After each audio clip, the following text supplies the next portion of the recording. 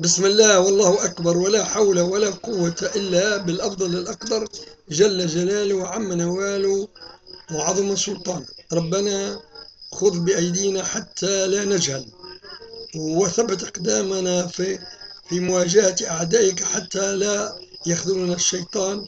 وانصرنا يا يا يا حنان يا ناصر. نأخذ الآية التالية. لقد أضلني أو بدا يشهد توا لكن شهادة دي ما عادش تكفي ماشي ماشي ماشي. نو أبني. لقد ضل أضلني يعني ضيعني المفيقة إيجاري. عن الذكر عن مثلا القرآن عن التوراة قبل لا يمس مس يد بني صهيون ولا الزبور وإلا الجوسبل.